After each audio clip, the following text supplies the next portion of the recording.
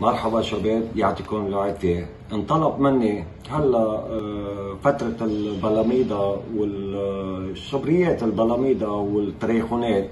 انطلب مني إنه اعمل لهم فسر الطريقة كيف نحن بنحط الريشة ريشة الدجاج أو حيلا ريشة على الصنارة. آه، رح أعمل فيديو رح فسر كيف بينعمل.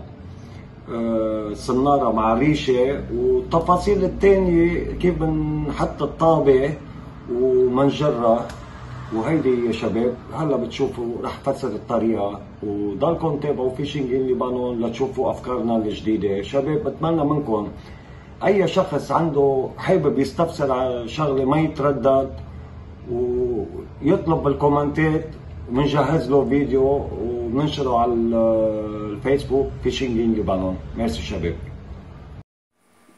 لكن الطريقة منجيب ريش أو دجاج أو حيلا ريش ناخد منه شقفة.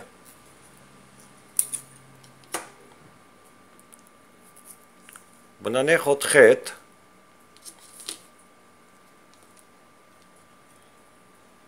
ما يكون طويل كتير.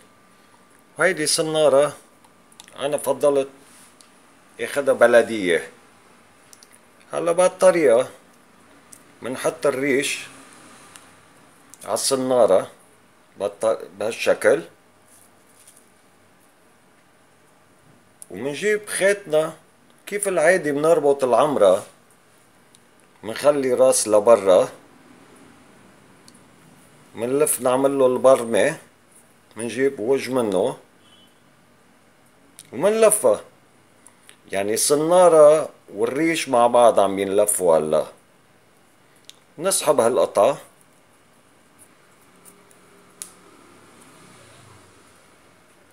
منظبط الوضعية.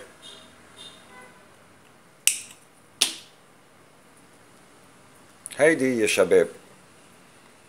هيدي بس تفوت بالمي أصلا الريش بده ين... آه يصير مي بيفتح معنا أكتر. مبين آه على الفيديو. بهالشكل. هلا فينا نحن ناخد الطول اللي بدنا إياه نحن لبعض الطابة.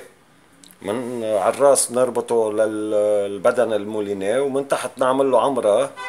شي تقريبا متر ونص أو مترين. وبنعمل هالسنانير بهالطول تقريبا. فينا نقول مش شبر كمان. بهالشكل بهالطول اللي أنا كامشو ورا بعض بنحط ثلاثة أربعة. نكب الطابة وعلى البطيء منجرها هيدي للتريخون للبلاميدا. هلأ في منهم أشياء جاهزين. بيجي بهالشكل. في كذا نوع في أنواع منهم في السمك الصغير هو مع كمان شراشيب. هيدا بيلفت النظر التريخون والبلاميدا. هول هن أنت بدك تشوف شو بتنقي منهم هلأ أنا عندي عمرة كمان جاهزة بهالشكل جاية هيدي بيتعلق من هون تحت الطابة. وفيها الأسماك ورا بعضهم شي خمسة ستة كمان. وهيدي هي طريقة شباب. وضلكم تابعوا Fishing in Lebanon ولا تشوفوا أفكارنا الجديدة.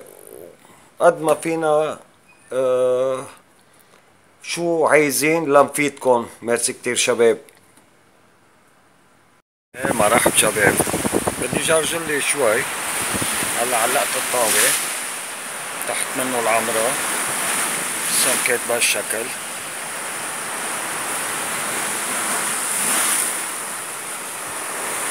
هيدا خمس سمكات